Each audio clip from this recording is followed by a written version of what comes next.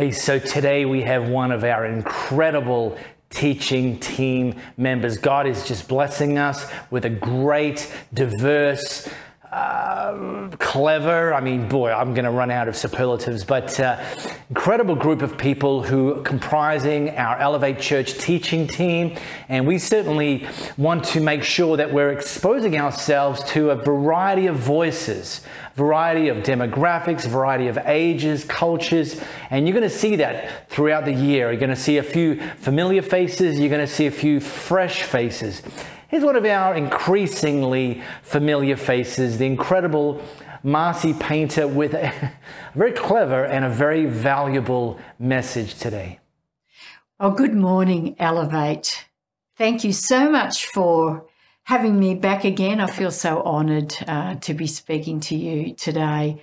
And I just want to sort of delve into a very small topic, and that is the Bible. You know, if you're a follower of Christ, you know that this book is an essential part of our faith. We are people of the book. But it's time for some honesty. It's okay to admit that you don't get it all, that there are parts you would rather avoid. Some people say the Bible is easy to understand, that it's the very Word of God. The Bible says it, and I believe it, and that's that. But it's not that easy. It's okay that you, to admit that you don't understand it all. Now, some people say it's just an ancient document full of myths and stories relevant to the Hebrew people, but it has no relevance to modern Australians, and you are ignorant to attach special worth to it. I would say that such comments show no understanding of the arc of humanity and the incredible significance of the Bible in our history. But here's some good news. You can be a thinking, intelligent, rational, curious follower of Christ and 100% believe in the trustworthiness and inspiration of the Bible. But we need to learn how to read it and how not to read it. So let me start with a quick brain dump of things that, of ways that we shouldn't read it. Like, don't read it as if it's a modern book. Don't read it like a history textbook or a science textbook or a legal rule book. It is an ancient document set in ancient cultural contexts. And also, don't read it on your own. We really need each other in order to understand it well. It was always meant to be um, interpreted in community. Now, we could talk for weeks on this topic, but I'm just going to delve into a few bits of it today. Let's just start with the origins of the Bible. Where do you think it came from?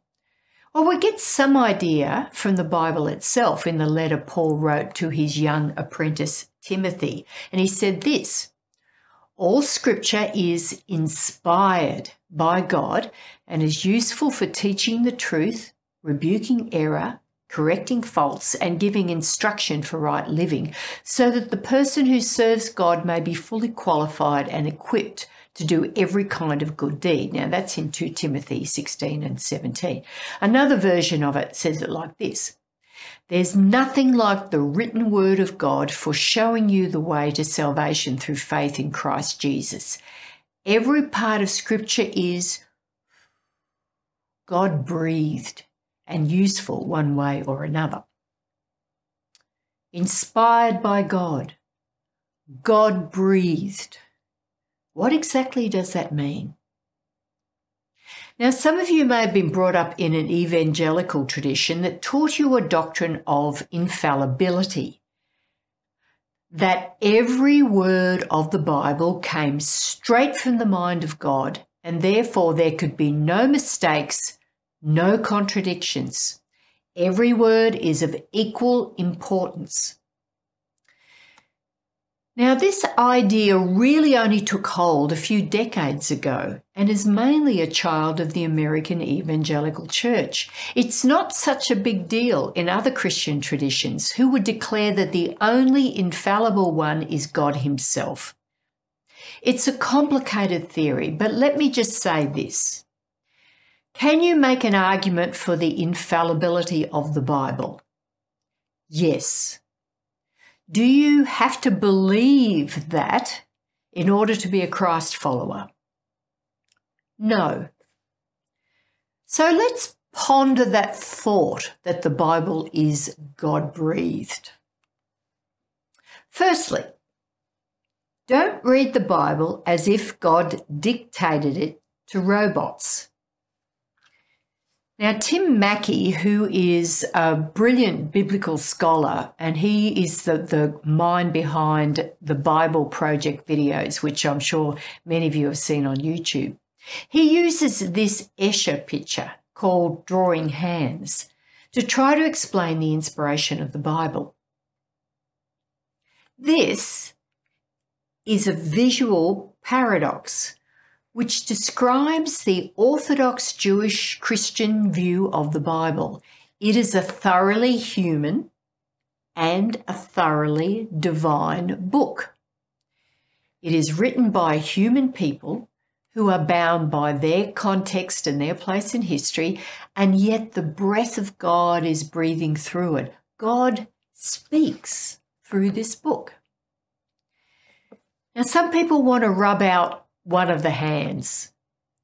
Now, if you rub out God's hand, we're left with a book with no divine spark, just human interpretations.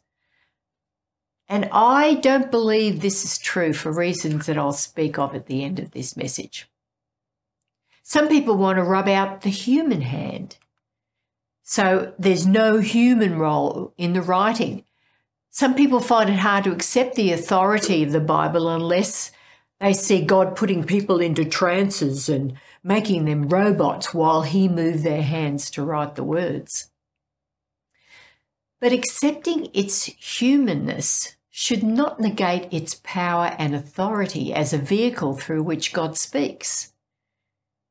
Jesus himself, we believe, was thoroughly human and thoroughly divine. This is a paradox.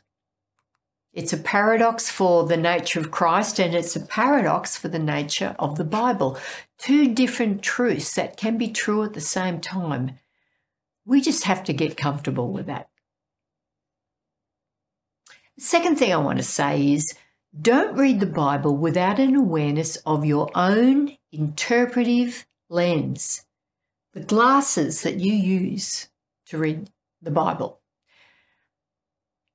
You have to approach the Bible with humility. Don't ever think that you know it all, understand it all, have it all nailed down. Every time we read the Bible, we are filtering it through our own wants and needs and biases.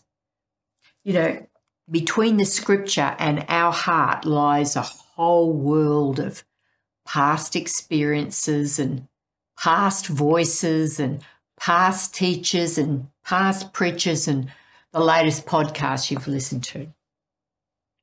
It's impossible for anyone to come to the Bible with a neutral stance. Let me say that again. It's impossible for anyone to come to the Bible with a neutral stance. Some of you will read the Bible and only see God's love and acceptance and grace. Some of you will read the Bible and only see God's commands and His rules and His law and His discipline when we fail to keep them. You know, even the country of our birth, the colour of our skin, our gender, our politics gives us a unique lens through which we interpret the Bible. In history, the Bible has been used to support monarchies, colonialism, socialism, dictatorships, revolutions, democracy, and even slavery, which is one of the most shameful and wonderful periods in church history. Why shameful? because slave owners quoted scripture to keep the system going. Why wonderful? Because Christian freedom fighters used scripture to fuel their conviction to have it abolished. We must be smart enough to recognize and admit our lenses and be humble enough to challenge them. Thirdly, don't forget that God is taking us somewhere in this grand story of the Bible. An understanding of the whole Bible's story is the single most important tool for getting the Bible right. We do not live in a circle of life. We live in a line. It had a beginning and it will have an end. And it is essentially a cosmic love story. And this is a core Christian belief. And let's see if we can if we can tell a story like the, the meta narrative.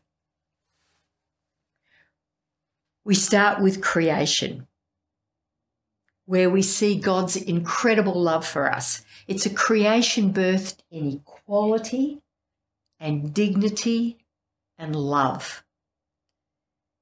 But God loved us enough to let us fly in freedom. He gave us free will.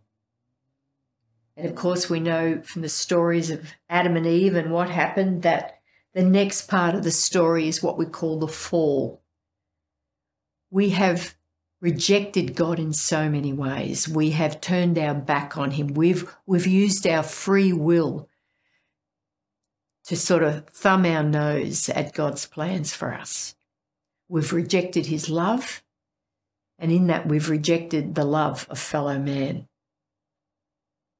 But you know, right at the beginning, even as we were messing up God's plan, He already had a rescue in mind. There was always, always an ultimate plan to bring us back, to reconcile us back to Him. So, that plan is Jesus. God Himself comes to earth and He announces in, in, the, in the person of Christ, He announces to world that there is a way back. And, and He, God Himself, takes on our sin and pays the price for it on the cross. And he calls out to us, Join me, and we will work to bring the kingdom of God to reality. He leaves his spirit with us. He leaves his spirit to enter us to so that we can accomplish his work to make the vision come true. What is that vision? We see we see tantalizing glimpses of it in Revelation, the last book in the New Testament. I looked again.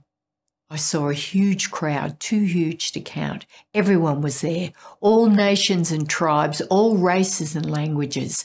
And I heard a voice thunder from the throne Look, God has moved into the neighbourhood, making his home with men and women. They're his people. He's their God. He'll wipe away every tear from their eyes. Death is gone for good. Tears gone. Crying gone. Pain gone. All the first order of things gone. And the enthroned continued, Look, I am making everything new. He will come again to bring heaven to earth and to make his home with his people. That is the arc, the meta narrative of Scripture. So when you read sections of the Bible that seem to be okay with the practice of slavery, we compare it to where the trajectory of Scripture. Where is the story of the kingdom going? There will be no slavery in the kingdom of God.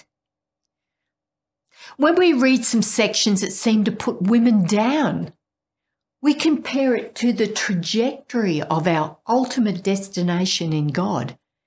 There will be no discrimination in the kingdom. All God's people will be loved. All will be valued. God is working all things towards his plan of redemption for all. Now, how do I know this? I read it in the scripture itself. I read this trajectory. We see the way God is moving us in a direction. And let me tell you a quick story. It's a powerful one that makes me love God even more. You know, in the Old Testament's um, scriptures, it was very clear that the Jewish people were set apart as a nation of priests, and they were to keep themselves holy by avoiding contact with Gentiles. They, they were the, those people who were outside of their religion in other tribes.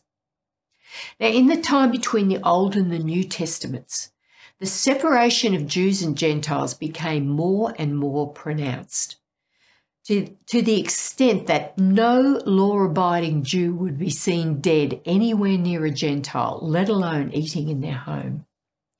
Now, if we fast forward about 200 years, Jesus has come, he has revealed himself and the character of the kingdom of God. And after that first miraculous Easter, has returned to his Father, leaving the early church to spread the good news with the help of the Holy Spirit. So we're going to come in here at in uh, the book of Acts, which is the story of the early church, and in the chap in chapter ten in Acts, there are two things happening simultaneously. In one place, you have um, uh, a man named Cornelius. He is a Roman centurion. He is a Gentile, but a compassionate man. And he has a vision where an angel tells him to send his servant to a town called Joppa to bring home a Jewish man named Peter. You get that? Cornelius is a Gentile, Peter is a Jew. All right, at the same time this is happening, over here in Joppa, Peter is praying on a rooftop and he sees a vision of sort of the sheet being lowered out of heaven that is full of all of the things that Jews are commanded in the Old Testament not to eat. For instance, pork and shellfish. And in his vision, he hears God say, Peter, get up and eat. And Peter says, No way, God. I know my scripture. It says that I shouldn't eat this stuff. And God says to him again, Peter, rise up and eat. And Peter says, Are you trying to trick me into dis- disobeying you, God? But God says to him, Peter, if I say it's okay to eat, it's okay. Don't call something unclean if I've told you it's good. Weird dream. But at that very moment, there's a knock on the door and there's a guy downstairs, and it is Cornelius's servant. And he says to him, My master has sent me to you and asked you to come and visit him. So, Peter, who without that vision would have probably said, No way, you're a Gentile, he's smart enough to know God's trying to tell him something. So Peter goes with these Gentiles, who every other Jew would have considered to be dirty, impure, not to be associated with. And he enters Cornelius's house. And what does he see? A group of people hungry for the good news about God. And the light bulb goes on. God, this is what you are doing. This is where you are taking us out of prejudice and discrimination and towards radical acceptance and unity Peter fairly exploded with his good news. And it says in Acts, he said, It's God's own truth. Nothing could be plainer. God plays no favourites. It makes no difference who you are or where you're from. If you want God and are ready to do as He says, the door is open. The message he sent to the children of Israel that through Jesus Christ everything is being put together again. Well, he's doing it everywhere, amongst everyone. Peter does something opposite to his known scripture, which would have been the Old Testament, the Torah. In order to follow the voice of God as it leads in the direction that God is now taking his people.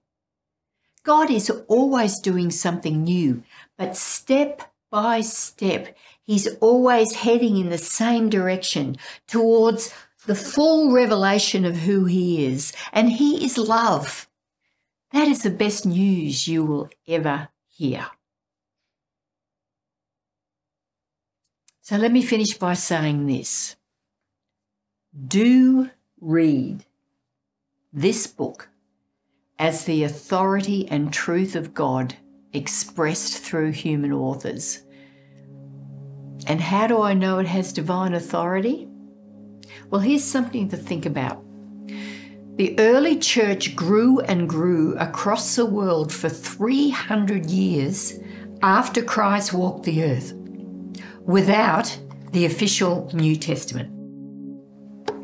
Thousands of people believed in Jesus as the Messiah sent from God, not because they read about him, but because he came back from the dead. And this fact was witnessed by hundreds of people, and they told the story of what they had seen. We have seen it with our own eyes. God Himself is with us. Not a great teacher, not a holy man, but God in flesh. Our faith is based on an event the resurrection of Jesus Christ of Nazareth. And this book has authority because it is a written witness to that fact. This word is a witness to the Word. In John, he writes, So the Word became human and made his home among us. He was full of unfailing love and faithfulness, and we have seen his glory, the glory of the Father's one and only Son. So, what then should we do? Well, that's pretty simple. Read it. Meditate on it. Make space in your day for it. This is a core spiritual discipline for people who want to become like Jesus. Let's pray.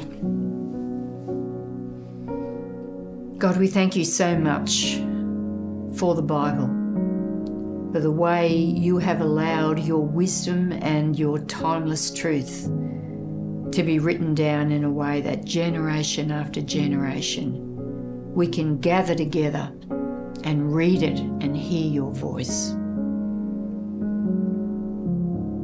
Father, in the Psalms, it talks about those who read your word are like trees that are planted near streams of living water. And they grow strong in all seasons and have fruit that can be accessed by others. They create shade that others can stand underneath. God, help us to absorb your word for the sake of those around us that need us to be a reflection of Jesus. We ask this in your name. Amen.